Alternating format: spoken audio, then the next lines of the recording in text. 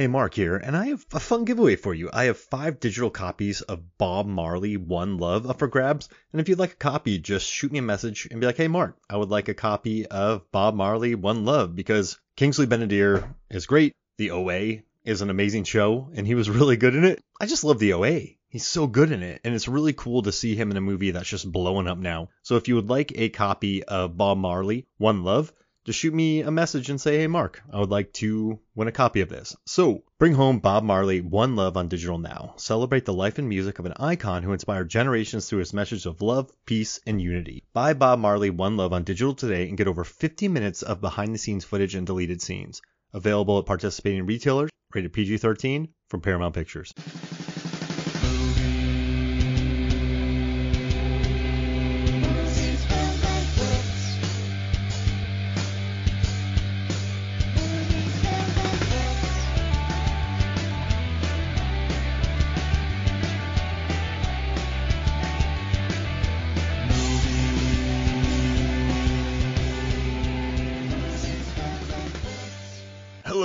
Welcome to Movies, Films, and Flix. I am Mark Hoffmeyer, and joining me is a man who's wearing tiny shorts for this episode. It's John Levingood. And I have baby oiled my entire chest, comrade.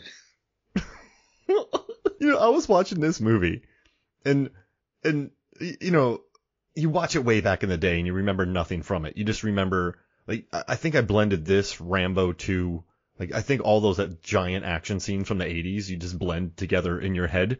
And watching it again during the final battle scene, I was like I was like Dolph, it's the middle of the day. There's there's no shrubbery to like wear camouflage on. There's like no anything. Like you, and then but he runs into battle with these short shorts on and he's just blowing people away and just everything is exploding and Joe Zito probably used half of his budget just blowing everything up in this action scene and you're just you're like, this is one of the silliest things I've ever seen in my life. With Dolph, and Dolph gets he gets knocked out, then he gets up, then he blows things up, he blows a guy's arm off, then he explodes. It's the craziest ending, but he does it all in short shorts. I mean, I approve of this message.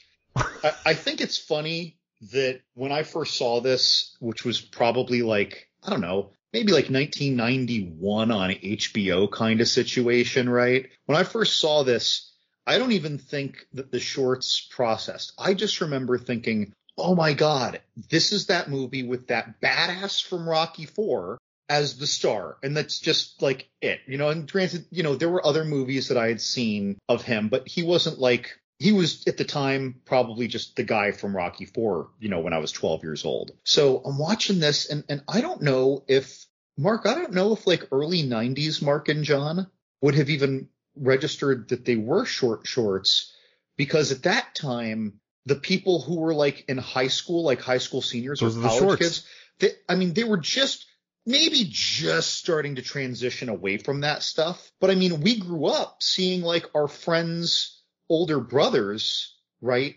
Like Yeah. wearing that. That was so it's like that was normal. And now we're watching it and it's like, what is this dude wearing? And also too, man, like the 80s went so hard on this shirtless hero, like Arnold Schwarzenegger in Commando, right? Like Rambo and Rambo 2. Just, you know, he, like, it's just, like, even like the Rocky movies, he's just a boxer. Like, all those stars, they just went really hard on shirtless scenes where they blow people up. Or just sleeveless scenes when they blow people up. Like, the end of Predator is all Arnold getting tossed around like a beach ball by the Predator. So it's, I guess it, you know, you watch it back in the day and it's like, yeah, it's an 80s action movie. like it's, it, there's nothing weird about it at the time. Awesome Aside at from, time. yeah, like, yeah, it just, and you, you know, like just, he walks, there's a scene, right? So, uh, this movie's about Dolph Lundgren. He, he's a Swedish man who plays a Russian man named Nikolai Rodchenko. And he's tasked to go undercover and kill a, a leader, like a, um, just, like a, just a, a rival leader. So he, what's the plot of this, John? How do we explain this in a nutshell? Like, Yeah, yeah. So it's like there, there, there's some conflict zone in Africa that's occupied by by Russia and Cuba, And right? Cuba. right? Right time. Well, little, little, like, like you know, post missile crisis situation. And yeah, there's this. I guess this guy with a lot of tri local tribe influence of uh, of the like a rebel leader. of the local resistance uh, tribes. And this guy's name is Kalanda.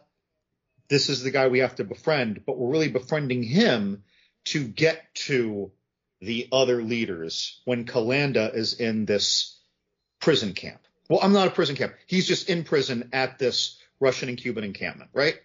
hmm And so Dolph And he has there, to win him over and go undercover. and he's just stationed there, right? He's just stationed there, and he says you need to befriend him. He's given no instruction on how, right?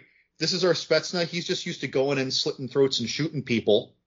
And and, and, Mhm. and now we got to masse a little bit. And uh, I, I love that the way that he initiates his plan is is is is, is getting crap faced, schnockered, and shooting up a bar. And when someone comes in and says, "Have you have you lost your mind?" No, just out of bullets. Oh, are you out of your mind? I totally ruined it. Yeah. Out of your mind, just out of bullets. And there's a scene in that bar fight where he walks into it and he he knocks out a guy. Like he takes three gut shots in a row, and the guy hitting him goes, hmm. After the three gut shots, like, hey, this guy's a tank. Dolph then absolutely obliterates him. I, I know his name. I know his name is, but you know, like Rodchenko in this or Nikolai, but I'm calling him Dolph. So Dolph walks up to the bar and there's just a guy sitting at the bar, and Dolph pushes this guy so hard off of his chair. Like it's one of the hardest pushes I've ever seen in cinema, and he just obliterates a guy with a push. And then like a guy stands up to look at him and sits down, and then he blows. It's just it's absurd, and he's just drinking. And before he goes out, John, he's just laying in bed. Then he gets up and he does his hair for about a minute. Like he he tussles his hair. Then he gets out. Then everyone's checking him out, and then he just beats up everyone in a bar. it's just ridiculous. guess, you know that push a- that you mentioned. I, I feel like yeah, that's the most gratuitously aggressive. But like, why didn't you just why didn't you just like put the guy in a sleeper hold and, and knock him out at that point, right? Just just break his neck. Like that that strikes me as the kind of obnoxious aggression that we're gonna look forward to in the remake of Roadhouse. Yeah. I mean, like, John, imagine being that stunt guy. Like, the stunt person was obliterated by that push. Like, that was a full on 80s Dolph push. And he just pulverized the poor guy. And you're just sitting here watching this going, what's happening? And then they escape and they're in this truck and he's like, hello, amigos. And then he, you know, like, you know, you know what I love, uh, what I miss about 80s action movies? Is that I miss when people used to throw grenades and then they would explode perfectly and then two guys would be on a trampoline and Right. then they would And, and the grenade would like explode as it would make impact with the ground, right? Yes. Like that moment. That moment, and then it would lead to these guys on a trampoline just jettison, jettisoning themselves. Like there's buried trampolines all over a field, and stunt guys are just jumping on them as like a squib goes off underneath them. I miss 80s grenades. I really do, John. They are, uh, yeah, I miss an 80s. They don't really do grenades like they used to, No, not right? No, I think it's fair. If anything, we're, we're starting to see a more realistic take on the grenade, and now the trope is is the play that the audience knows that it's going to take a while, and now and then you get to oh. play Oh. with how long it takes. Whereas before, it was like a water balloon. like that was a water balloon, and it did not. There was no. There were no fragments. Those frag grenades did not fragment. They just gave off force, like Jean Yeah. Grey was using telekinesis to launch people away from it. Yeah, there's no shrapnel in these grenades. You're right. It hits the ground and it just goes poof. Right. And energy exudes, and then a magic trampoline jumps a guy in the air. They're Jean grenades. Jean grenades. That's a Jean stupid joke. grenades. I'm getting old. oh, I can't do that's this. part of the title. But just, it's just, yeah, I just want to be there when they bury trampolines in the ground. And, you know, I miss, like, just perfect rocket launcher shots. Like, there's a scene where Dolph has his gun at the end, and he's just obliterating people. He kills, he kills like 92 people in this movie. I watched a couple kill counts, and no one's quite sure. But I feel like 92 is a good number. And he, he's just running around.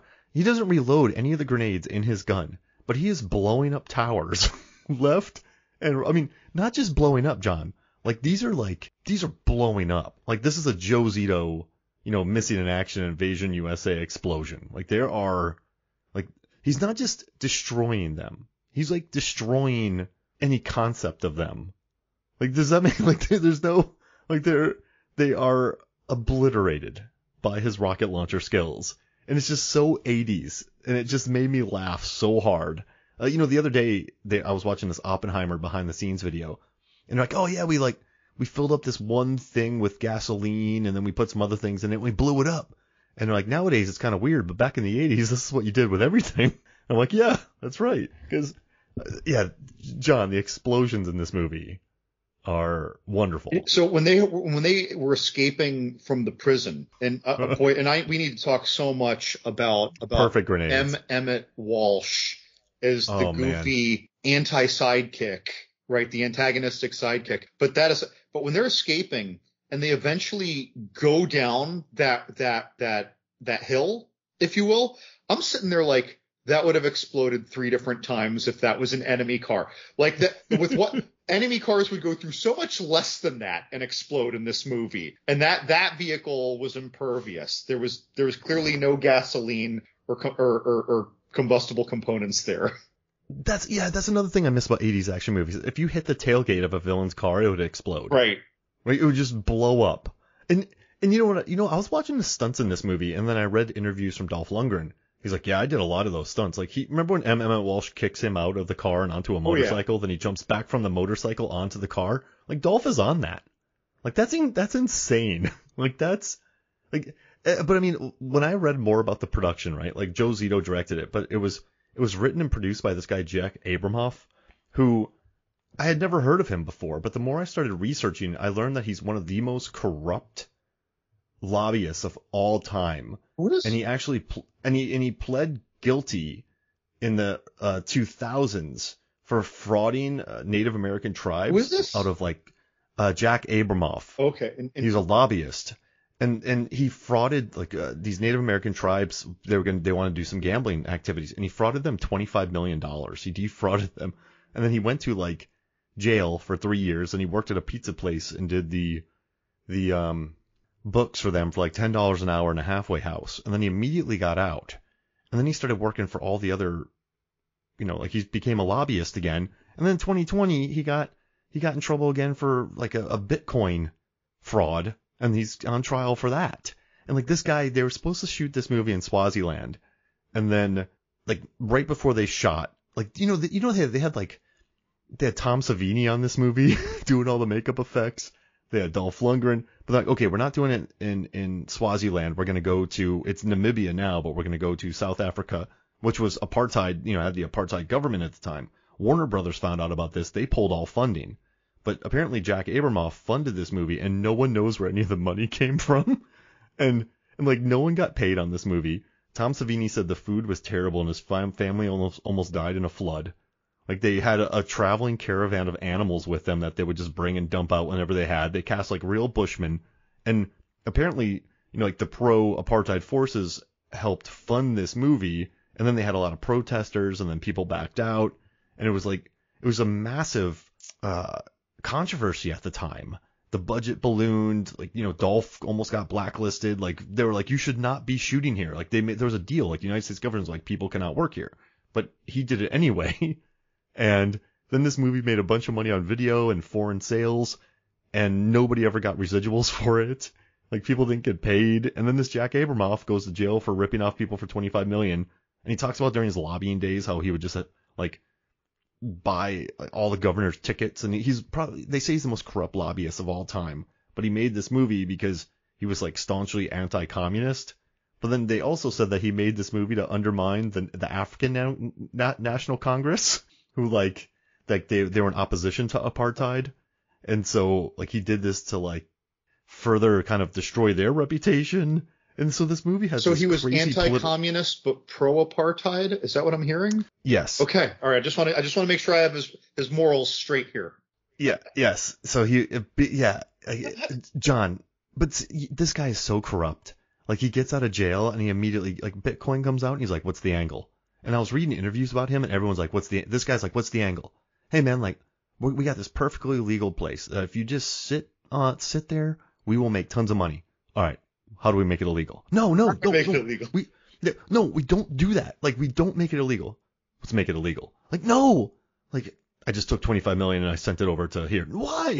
like it's it's like this is all legal. Like he's one of those guys. but then just reading about it and just just I don't know, it just made me very happy to see like not happy, but it's like so 80s. Like eh, on the surface, this is this is a classic like let's go kill a, a nebulous army of communists, even though this was Russian and Cubans, and like let's go blow them up because you had Rambo 2, you had Commando, like you had those kind of movies.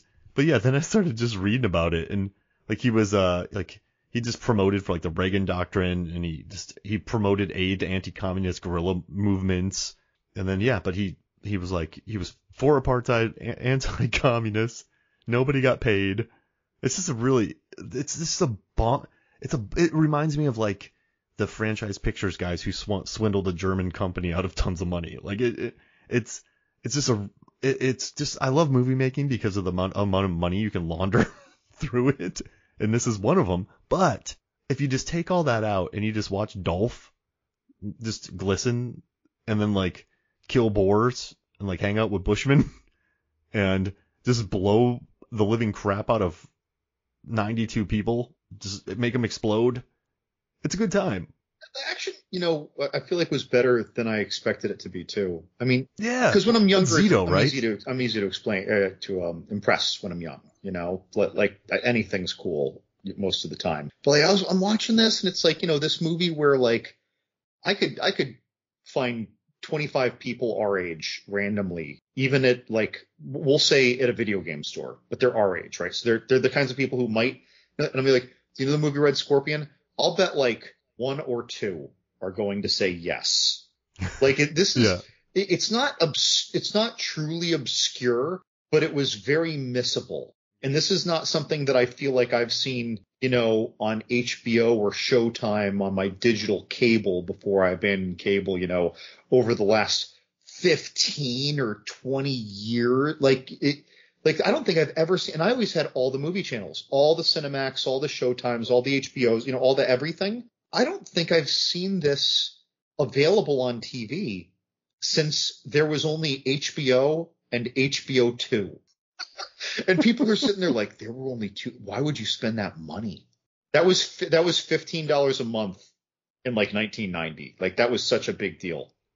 Like, yeah, that was expensive. I never had HBO. It was too much. Disney was too much to have too. I never got to have any of that. But you know, yeah, John, this wasn't around. You and I could have turned on the TV back in the day and Lethal Weapon 2 or Predator or any of those movies would have been on TV. Die Hard. They were always on. This was not. Because you know why? This is a movie released in 1989 that feels like it should have been released by Cannon in 1984.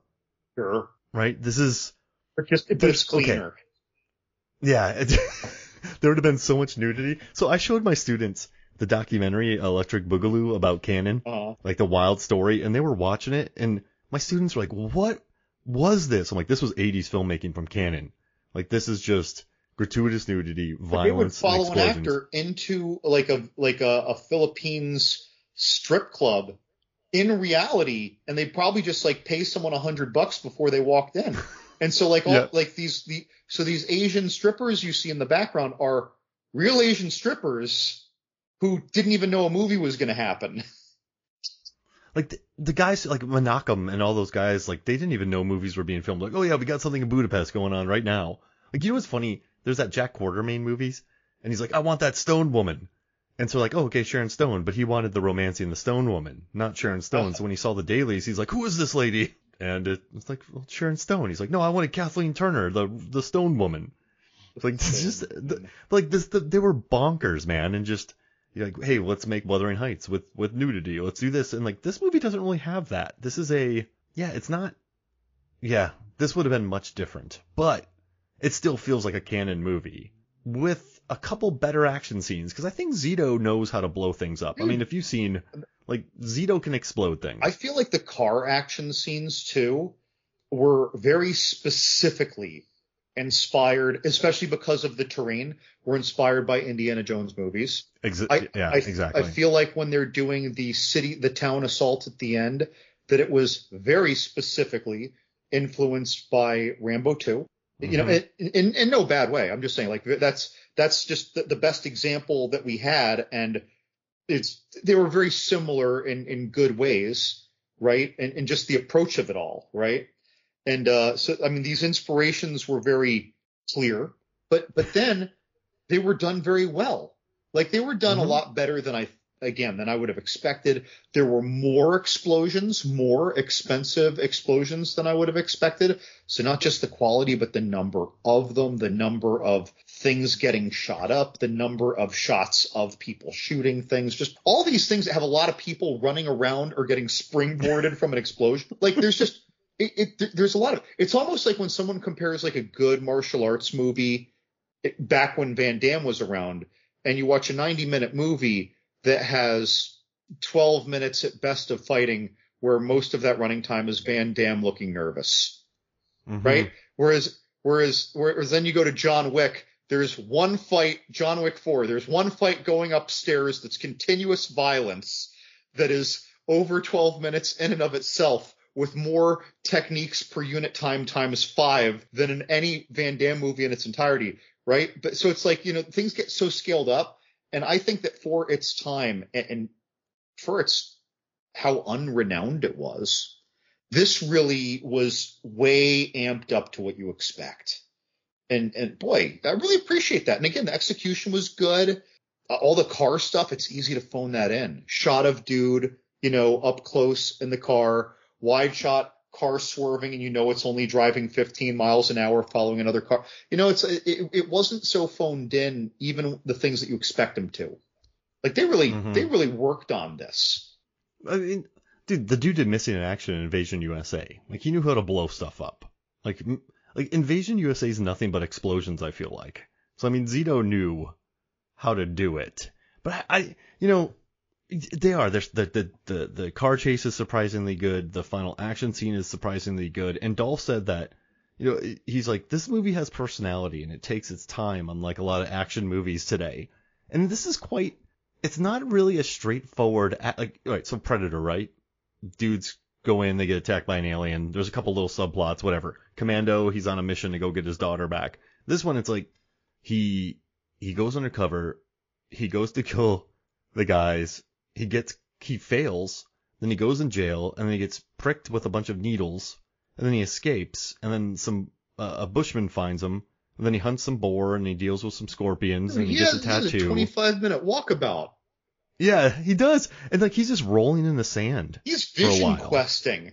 Yeah. Like he goes on on a vision quest. He he like rolls down a hill. He's actually in sand dunes. And then by the time that, you know, the Russians and, and Cubans have slaughtered all these villages and killed all these people, you're like, man, there's like 10 minutes left. And then he just looks at everybody and goes, let's kick some ass. And then just explosions go off, John, and he just storms in and starts slaughtering people. And then he blows up a helicopter. Then he, you know, he blows up the major general. And then at the final line, they're like, yeah, haha. And he's like, yeah, fucking A. And then the movie ends. In, in proper 80s form. Yeah. But it's like, it, you know what's funny? He walks 10 feet from the helicopter and then he blows up the helicopter and there's just no, like in this world too, helicopters don't, there's like no sonic wave from explosions, you know, or there's no force. I think it all just goes up because he was probably what, 10 feet, 20 feet away from Right, that right. helicopter explosion and he, nothing hits him. But it still looks cool. Well, dude, he, he'd like be concussed. Yeah. Oh yeah, he his head would be ringing. This do you think that's why this isn't a movie that's I mean, do you think this you know, a lot of smaller scale action films play really well on cable. But do you think because this one just has so much plot and like the history of like it's it's quite in like it slows down. Like the end final the final action scene's like 12 minutes long total and then credits. If that. It's like no, it's like 10 minutes long. And it, b- between that is like a a failed murder attempt some torture and then a like a walkabout. Long walkabout. Is that does that hurt? Do you think that hurt like its overall I watchability? don't, I don't know, dude. I, I don't really feel like that was its problem. I, I feel like its problem was, uh, and of course, I have no recollection of how this went down, right? But I, I I have a feeling it's more of how they marketed the movie. And even though, so we're taking the bad guy from a really great movie, he was a wonderful villain, and making that bad guy into a leading man. And again, it's like there was Masters of the Universe. There, people were people were doing this with him already. Uh, I, I, Cannon were. right. Um, but but still, like I, I- I feel like they had trouble marketing it. But then I I think because it's 1989 and he is the Russian and he we only we mostly know him as a villain before that. I I feel it's harder to get on board. When Arnold Schwarzenegger plays a Russian in Red Heat, Arnold Schwarzenegger is already beloved. I mean, even if it's for playing a villain in Terminator, but then you know Conan and uh, he had done other things. Like he was already known and beloved, whereas Dolph was the bad guy from Rocky Four. Dolph was Ivan Drago in people's eyes. I- I think that was probably the problem, and and that it takes place in Africa and it involves Russians and Cubans, and other than like M. Emmet Walsh, am I getting his name right? I think. Um, uh, there's pretty much uh, an absence of non-accented characters. I don't think that 1989 America had the metropolitan melting pot mindset of getting behind heroes like that. Yeah, that's true. And you know the I, I think just the lack of the big stars, right? The you know exactly like you said, just a Swedish dude who was a villain playing a Russian, battling Russians and Cubans. Yeah, and then also the bad press. But you know, do you, do you think not? Do you have you looked at the action movies released in in '89? It was an odd year So for action What cinema. else did we Like, have? Well, like okay, so like Blind Fury, a movie that I absolutely love but it's still Blind Fury. Bloodsport. Well, you have Kickboxer, you have Black Rain, Lethal Weapon 2, Blue Steel, but you have like No Holds Barred. You have Dead Bang, Best of the Best. Cyborg came out that year, Lockout. It's just like Pink Cat, you know, K-9 came out that year, Roadhouse, Next of Kin, Tango and Cash.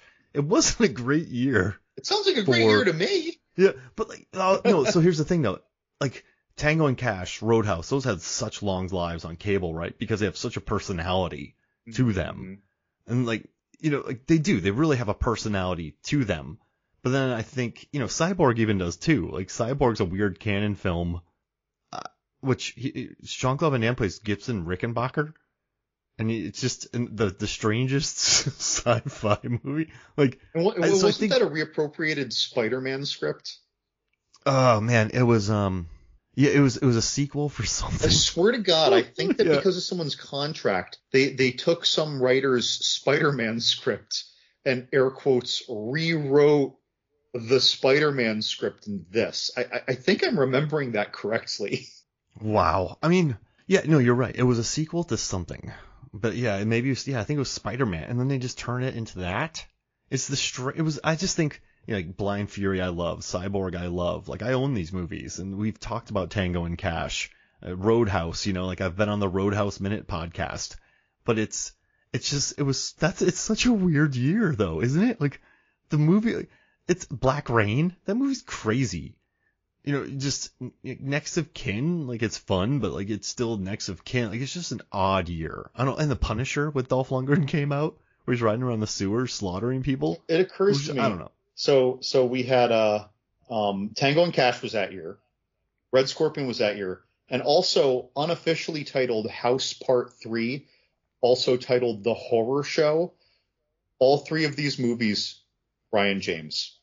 Oh, Brion James. nice. The the guy the guy who lowered Tango and Cash into the uh, electrocuting Yeah. water. The the our our our, our blonde like Yep. boy cold as death eyed uh uh I won't call him a lackey but like prime henchman in Red Scorpion and he was the bad guy in House Part 3 all 1989. That was the year of Brion James. It really was. You know, whenever I think about him, I think about him in Fifth Element. Oh great role. Is that who? Is That's him, yeah. you know what I mean? Mhm. Like I know he's Tango and Cash, and I know he's Red Scorpion, but for some reason, so when I saw him on screen in this movie, I went, "Oh, Fifth Element." like I don't. That's my immediate uh. Yeah, but that was a good year for him, huh? Eighty nine. Dude. Long live the character actors, man. But the- you know the problem with Red Scorpion too is, it's just, it's just, it's just Red Scorpion. I don't. I, I think it has a personality though, and I don't think Dolph is as bad as most people say. And like Zito, remember that scene where M. Emmet Walsh was like, "Yeah, take it off," and then he just blows up. Like for most of the movie, Dolph is just you know, Megan walked into the room when I was watching this. She's like, "Man, why is Dolph so ripped?" I'm like, "This was 80s Dolph. Like 80s Dolph was just this. It's like it was just it was just him walking around without his shirt, hanging out with a bushman, killing boars." Well, I mean that Masters of the Universe, Rocky Four, Yeah. that's that was his thing. But he's funny in this one though. He has some good lines. I think they worked with him pretty well. He grimaces well.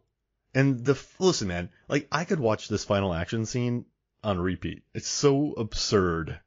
But it's like he he shoots a guy's arm off so that the guy doesn't throw a grenade Clean at him. off, clean off Yeah. too. Like it just disappears. it's almost like they did one of those things where they did a they- they have a shot of him holding his arm up with a grenade, and then they they yell cut, and he holds his arm there, and then they were they they replace with the prosthesis, and then they just start they or they start filming again, and it's just boom, it's gone. Oh man. And then he tries and you know what? That's a grenade that doesn't explode like a water balloon for effect because he tries to reach it.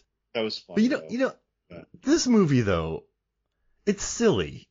You know, all, the politics aside with Jake Ab- uh, Abramoff, Jack Ab- Abramoff, who's just a, a lifelong ho- like criminal, pretty much.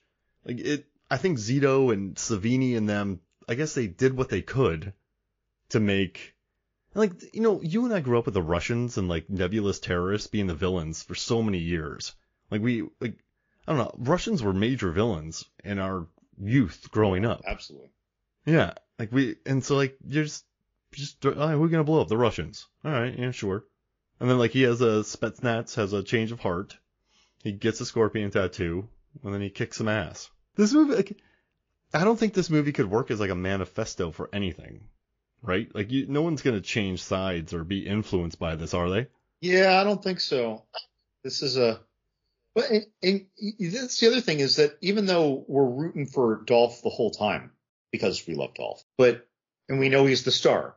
That's the other thing. We know he's the star of the movie, but he starts out. He's a Russian. He's just you know, he's not like the reluctant warrior. He's like, okay, I'm going to go on this mission. And when things are going rough for him, when they uh when when he's trying to do his mission to get to this other tribal leader, and they're like, I think it would be best if we kept you confined. He's like, I am Russian soldier. I am strive for excellence. And he's like punching the well, like he's still he's still on his mission. He tried Yeah. to kill that man.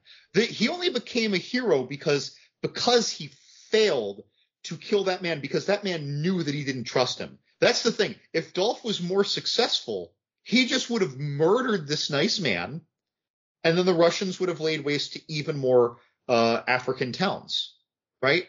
So it's like he's still not even a good guy at all, at all at that point.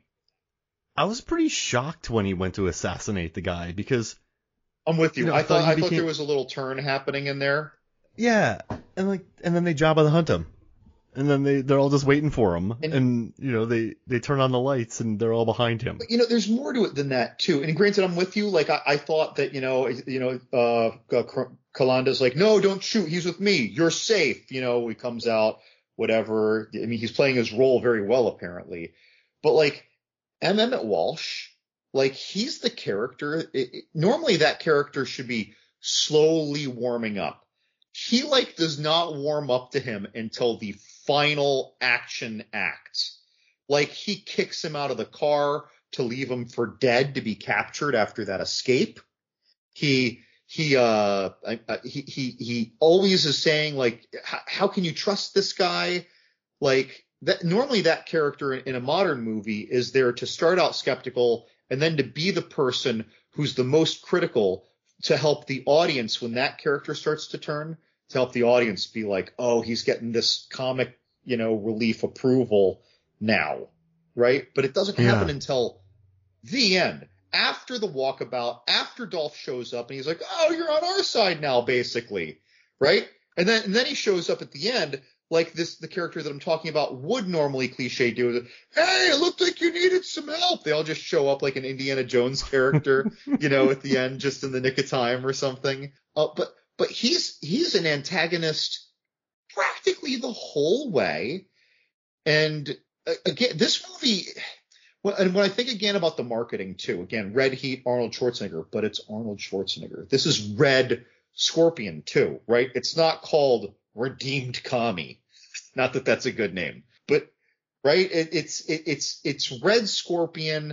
Uh, the the the poster is is not again because most people just know him as Ivan Drago, not there's Arnold Schwarzenegger in the Red Heat poster. You can't.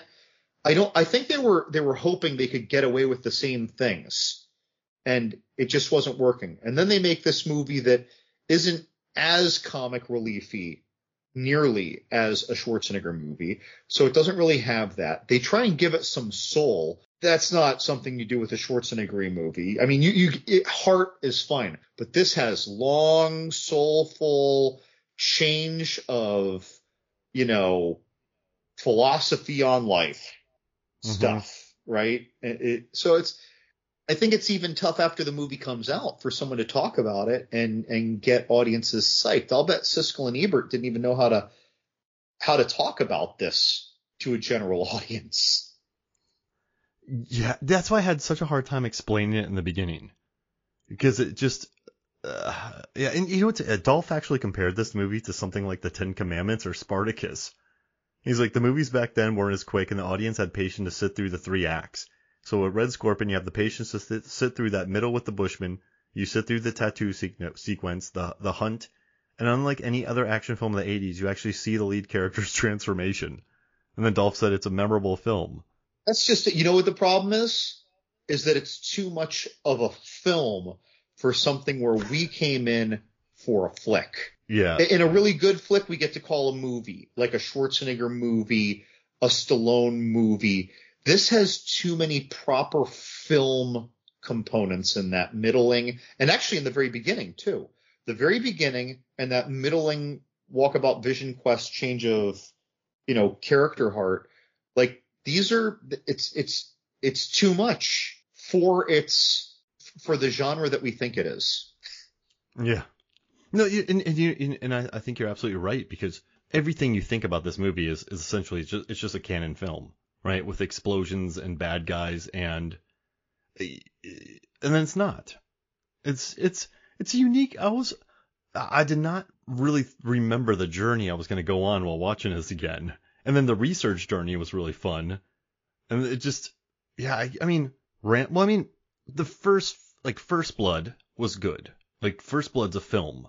Oh yeah. And then the other Rambo movies just became straight up explosion films but Rambo never really went through a character arc as much as Nikolai did in Red Scorpion. He just blew. I showed Megan the kill counts for Rambo 2 and Commando, and she was like, "What?" She's I don't think Megan has watched Rambo 2 or Commando, and so showing when when when Rambo blows up that guy and the only thing left is his shoe, and then in Commando, she's like, "Did she? Did he just cut that guy's arm off?" Is he throwing saws?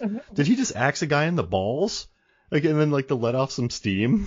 Right. just, it's uh, man, that's an absurd movie. But yeah, this movie's not so much that.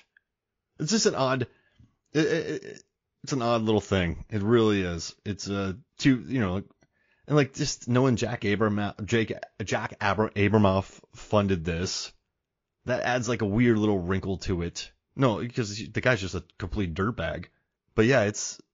I'm glad we talked about this one, John, because I think Zito tried here. Yeah, I, I, there, there's clearly a lot of heart on the cat on the cast crew side of this. I, you, I think that that it shines through pretty well. That everyone involved cared about this. Like you know, they had a wildly shifty producer, didn't pay many much out of them. But I, I just, I'm telling you, man, when you get someone like Zito, who had worked with Cannon and just knew how to blow things up, when you have Tom Savini, you know, like you you have I don't know, they'll make things work no matter where they are. And I think Red Scorpion's a good case of that. Even though it's just oh, oh, a, it's just such a silly such a silly movie. I mean, I, I guess I get the 17%. That's just Rotten Tomatoes, 17%. Yeah, and it's, and it's 5.2 on IMDb. That's not that bad on IMDb. No, IMDb yeah, yeah. is rough. Yeah, I think that that's about right. The 5.2. That seems like right. it's yeah. Like I wouldn't give it over a six. I, would like to see more like a 35% on Rotten Tomatoes. I feel like that would be a more fair assessment to double that. yeah, no, that's if if I saw 31, I'd be like, that's cool. Yeah, that's fine. I but, get upset. Yeah. But seventeen, like the teens, that that's that that stings a little bit. Uh, I mean, yeah, I just 5.2 feels right. When I saw that, I was like, oh, okay, that's fine. Right. Because you know, like the the car chase is good, even though it's very Indiana Jones. The the the final battle scene is very good, even though it's like Commando and it's like Rambo 2. But I mean, anytime that you have Dolph Lundgren just raiding a fort in short shorts, just So and like I'm watching that scene, and my fiance Sarah walks in the room, and she doesn't know this movie. And she says, "Oh, look at him in his little shorty shorts guns." And I'm like, "No, honey, like th- there's a very logical reason that he's in." It's like, no, no, you don't get to say anything. He's in shorty shorts shooting his gun, having a good time, and that's all I'm gonna think about. So basically, you know, both of our significant others had the same reaction to Dolph in this movie. But there legit was a good. Re- so he right he he he, he escapes. training. He he's walking across the desert. He's trying to stay alive. He he didn't have shoes. He had to rip off the legs of his pants to wrap Mhm. them around his his feet. And then when it came wartime, there was not a J.C. Penney or a Men's Wearhouse. He he he had what he had. He, he, he and he had wrapped his shirt around his head so he didn't get heat stroke, right, or, or get burned all Mhm. over his face. I mean, there's a reason that he is shirtless and wearing short shorts, and it's a good reason. But he is. we can't deny that, I suppose. It- uh, it's just funny though because I've just I've never seen that before, really. Like in in one of these kinds of action movies, and it's just it's just such a You know what it reminds is- me of? When Jack Burton has the gun, but he also has like the smeared lipstick on his face. Yeah. Like it's one of those, like except except then drawn out for 12 minutes of action. oh man, like the, and then there's just the torture scene.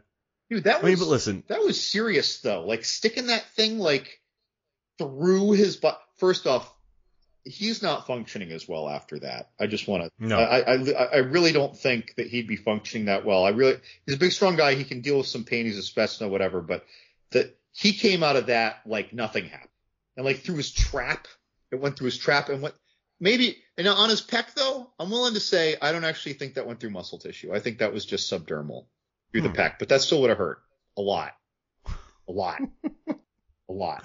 And it's such a lot. This movie takes its time on scenes too. Like, it, when when remember he's just laying in bed and he gets up and does his hair. I'm like, oh, is he just gonna go out for a drink? Well, Like, they, I- they like, needed what- to establish to the audience how tall he was and that he didn't fit in the bed.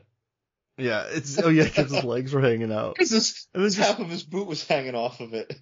but all right, listen. If okay, okay, so if I had to take the scene where Emmet Walsh kicks him out of the car and he lands on a motorcycle, the push in the bar, and then just the obliteration of all the buildings at the end, and shooting the guy's arm off, it, there's enough moments in here to make this. I wouldn't say that this is far from top tier 80s action cinema, but it it's it's like mid mid tier. It's not mid to top, and it's not top, but it's mid tier because it has a few moments. Because how many action movies have we watched where there's just nothing there, where you watch it and you're like that was fine, but there's no moments to really cling to. I feel like this one has four or five of those. It's interesting you say that. So I actually have a note. Like I even, it, this is probably about an hour into the movie, maybe a little more. And I wrote to myself, this isn't great, dot, dot, but it's pretty good. and, and you know what it is? It's, it's very capably made. It, you know, Yeah. there's nothing wow. Like, you know, you don't, like, you know, th- this is, it, it, it, might be like a well, I don't even think it's a step below Red Heat. I I think that Red Heat just worked better. They Mhm. played the genre hand a little better, right? And weren't trying to be filmy. But like, so this is probably comparable in overall quality to something like Red Heat. However, if we compare it to something like True Lies, oh no, I, like there's not even a conversation to be had. Like this is Mhm. True Lies is echelons plural above this, well, and Red Heat, right? But uh, but this is, but it's good. It's pretty good. It's uh, like it's like if I had this beer, they'd be like, "Hey, John, how's that beer?" It's pretty good. It's like, oh, okay, they have it over in the cooler in there. No, I don't need to buy any, but but I'm really enjoying this, right? I Yeah, think, like, it's, hit the spot. it's This one of spot. those, like to all the bre- any brewery like enthusiast knows that feeling. Like, no, this is really good. You want any? No, I don't need to take any home. One's good, but it's really good. I'm really enjoying it. Right? That that's it. Like, if I'm if I'm at a function and this is there, I will be happy. Yeah, drink it all day. But yeah, so I won't bring home a six pack. You, you know something else that I really loved that was totally random, and I feel like it only happened because M. Emmet Walsh was capable of doing it. Is and again, it's a very Indiana Jones thing. He's in the back of the truck during the prison escape, and then there's that window where the people in the back of the truck can talk to the people in the cabin, and that overweight dude in like who, who who's got to be near 60 years old goes head first like a seven year old, right? Just coming up to hang out with his dad.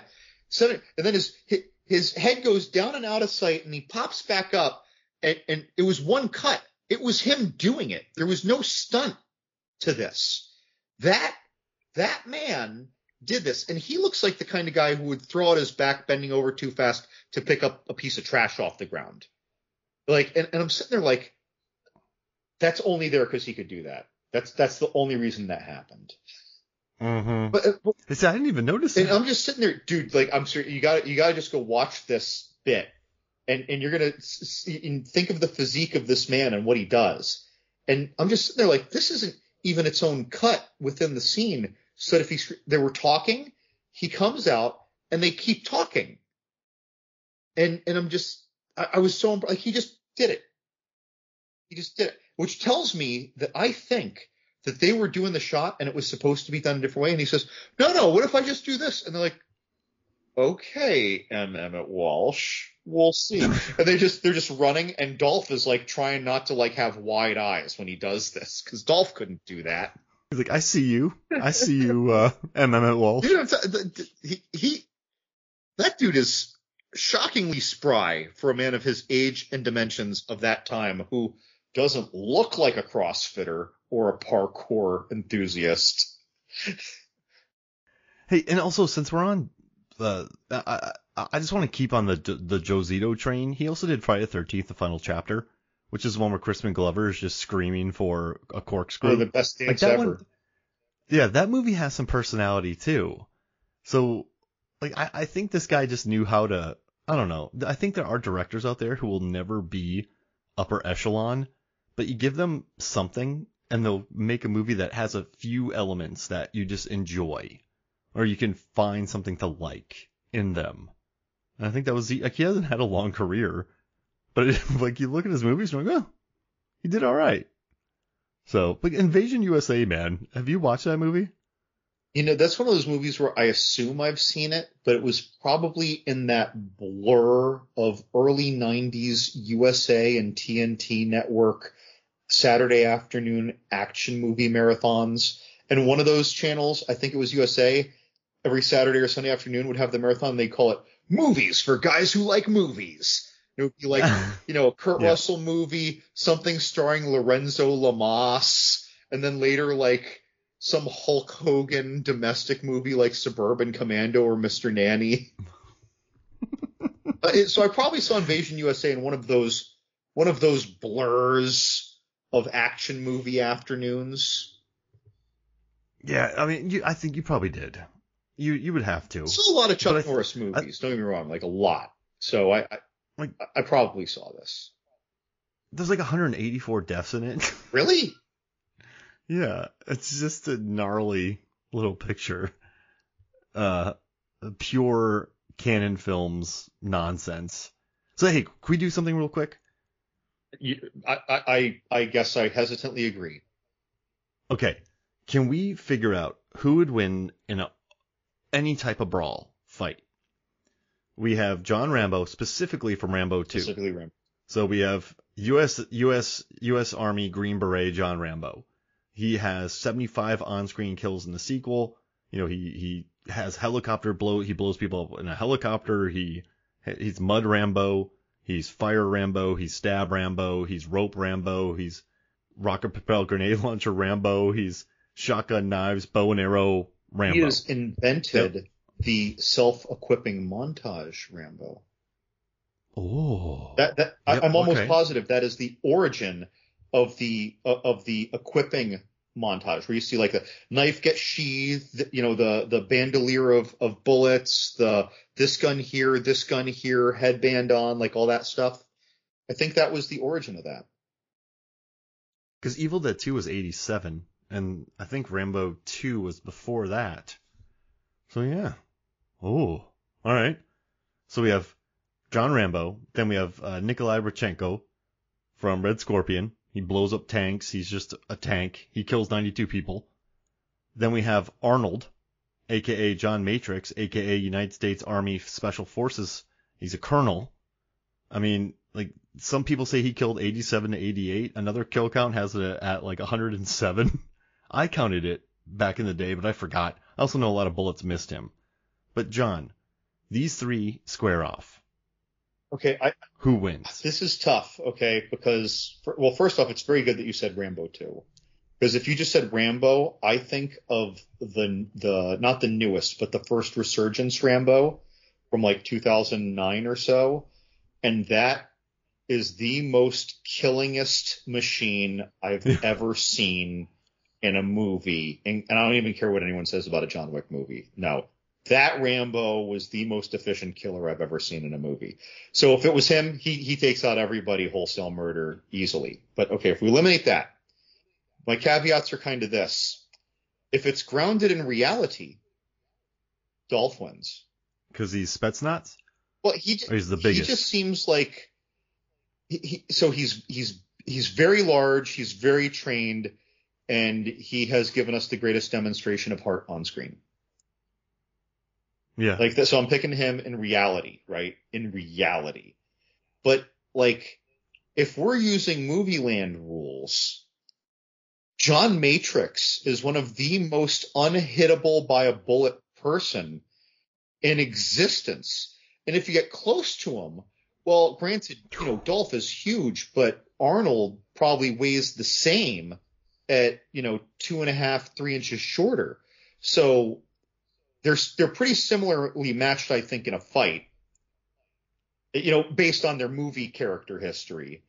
And but but when it comes to guns, I feel like John Matrix is more likely to hit Nikolai with a bullet than the other way around. Yeah, because Matrix has this force around him Right. that just prevents bullets. Right. He doesn't even have to dodge the bullets. When when when you're the one, you won't have to. Uh, and if you think about Rambo, he does hide a lot. Well, that he and and he uses helicopters and explode. So he he's out in the open a few times, but he's not out in the open like you know Nikolai is or Matrix. and, and so but Matrix is mean, dude. Matrix is a mean man. sure, sure.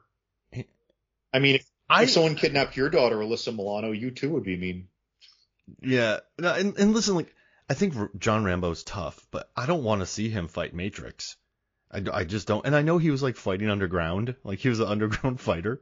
Uh, Rambo was in these films, but I think Matrix would rip him the, to to shreds. Oh, like The yeah, only thing that gives me hope- That, that there's, I don't think there's a fight to be had there. Yeah, See, the thing, because he's a brutal. if we go, if we go Rambo though, and we are using the forest, Rambo wins.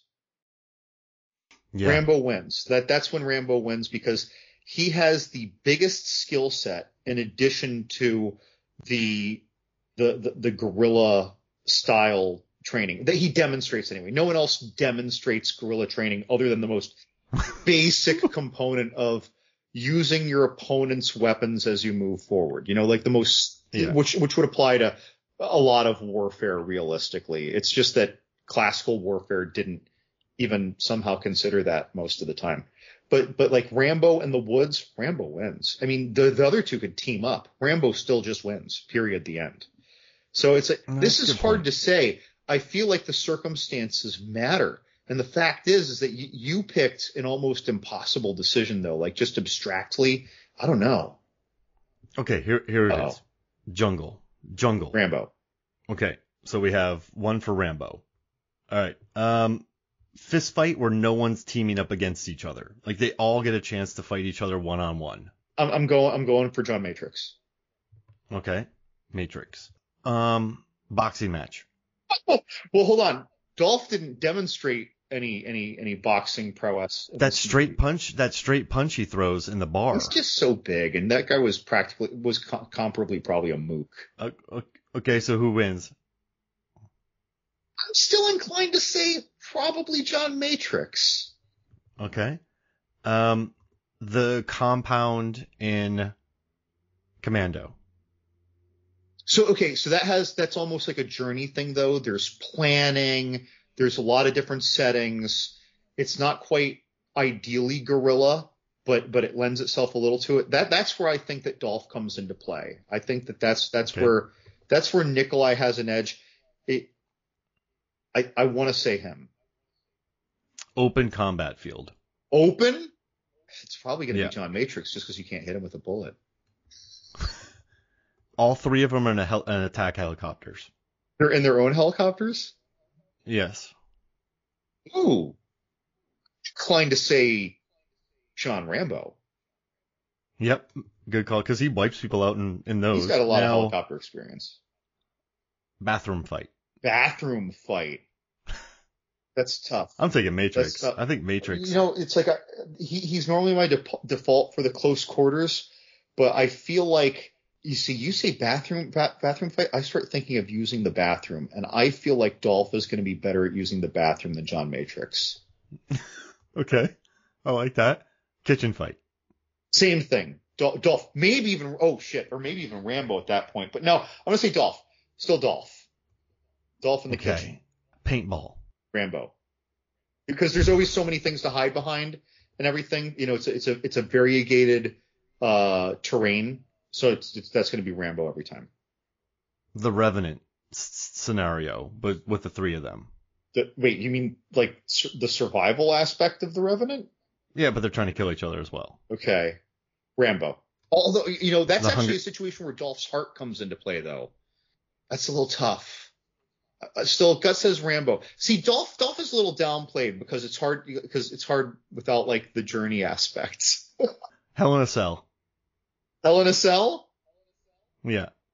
It's probably just Dolph because he has that great scene. Okay. It's Brion James So right now, in like what looks like the jaw and the collarbone simultaneously with the toe of his boot. Like I don't even know why we even saw Brion James on his feet later in that movie. all right. So let's see. You have four for Rambo. Right. You have. Oh wow, three for Matrix. Uh-huh. Interesting.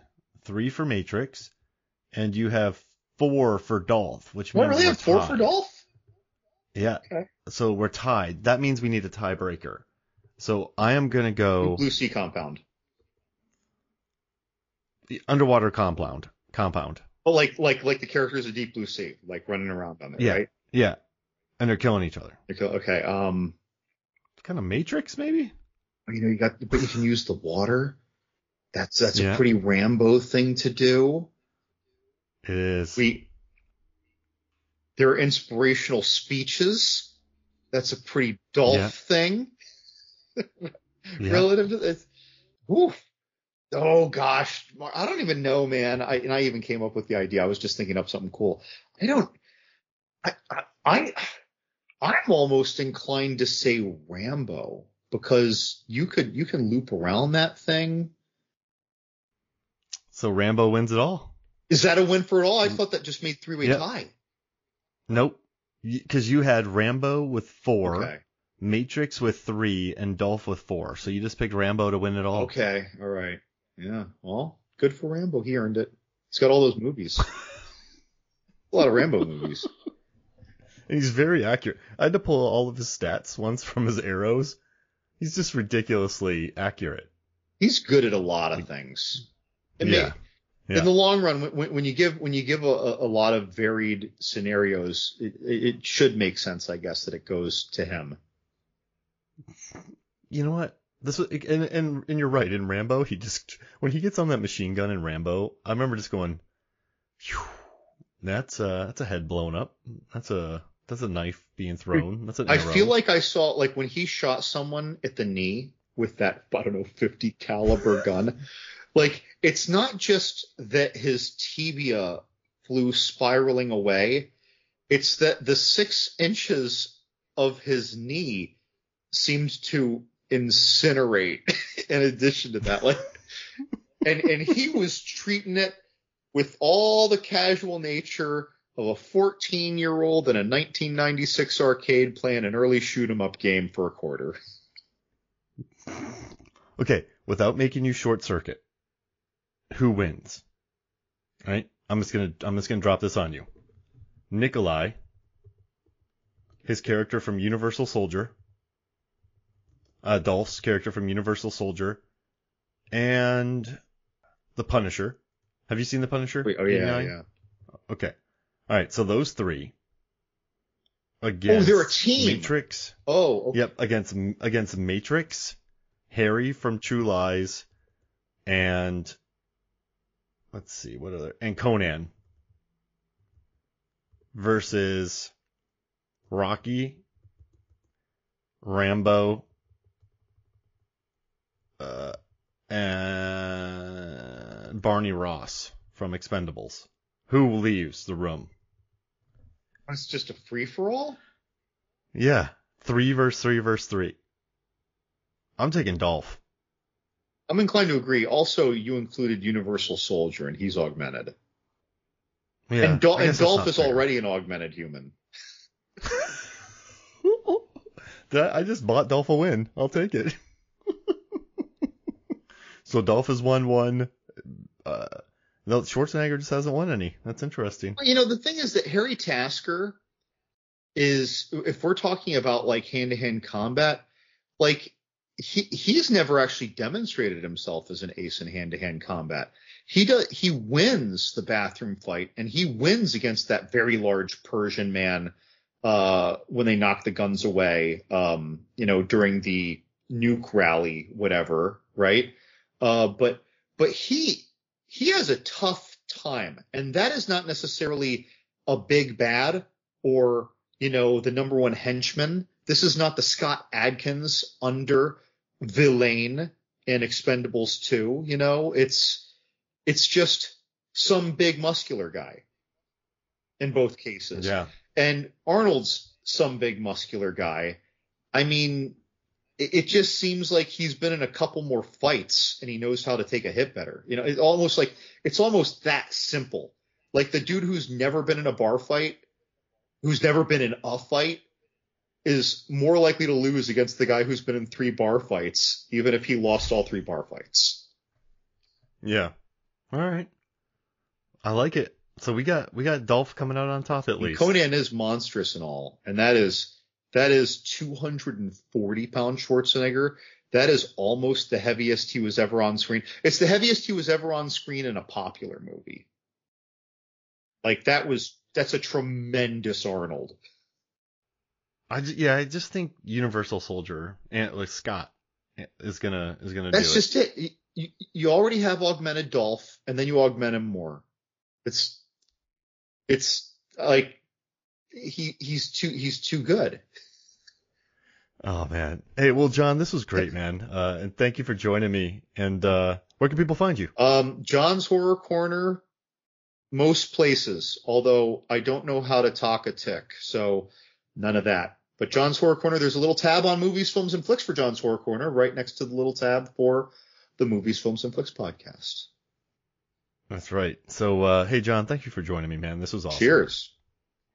All right. So for me, Mark Hoffmeyer, for John Levingood, this is Movies, Films, and Flix. We'll see you next week.